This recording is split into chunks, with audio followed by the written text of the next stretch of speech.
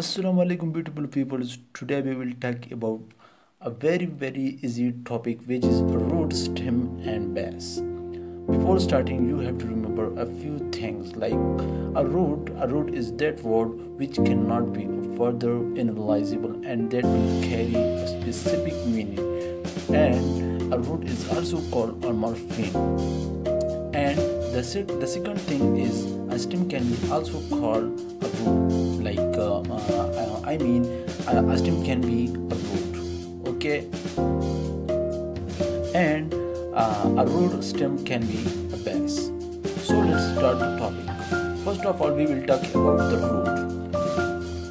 A root a root is a form which is not further analyzable and that is what i am saying that a root cannot be further analyzable either in either in, in terms of derivational or inflectional morphology. It is that word of a word which that, that remains when all inflectional and derivational affixes have been removed. Okay, and a root is the is the basic part always present in a lexeme in the form untouchables.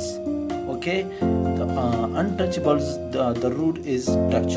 Okay, and this word the touch uh, can be cannot be further analyzable To which the first the suffix to which first the suffix able able then the prefix un un and finally the suffix s have been added okay? In a compound word like wheelchair so there in a wheelchair there are two roots like what? Wheel and chair. So now now let's come toward uh, a stem stem is concern uh, is of concern only when dealing with inflectional morphology. So this is the this is the main thing that that stem can be uh, concerned when uh, dealing with the inflectional morphology.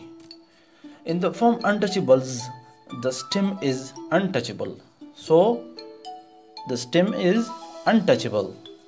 Although in the form untouched, untouched, the stem is touched and that is what i am saying that a root a stem can be a root.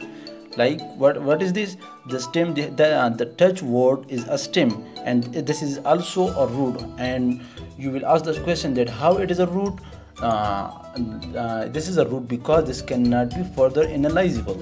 In the in the form wheelchairs the stem is wheelchair. And even though there the stem contain two roots after that let's come toward uh, the, the topic base. A base is any form to which affixes of any kind can be added. Okay, this this means that any root or any stem can be termed a base. A base. But the seed, but the but the of bases is not is not exhausted by the union of the seed of roots and the seed of stem. Derivationally analyzable from which? From, uh, from to which a denominational affixes are added and only be referred to, uh, to as a base.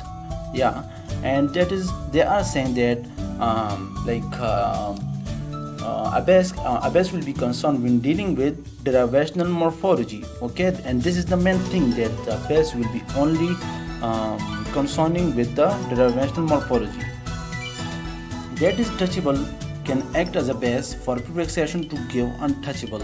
But in this process but this but in this process touchable cannot be referred to as a root because this is because it is analyzable in terms of derivational uh, morphology. Nor nor as a stem since it is not adding uh, adding of adding of uh, inflectional which is in question so this was our video. If you have any type of question you can ask in comment box. And you guys make sure subscribe our channel and keep watching us. Thank you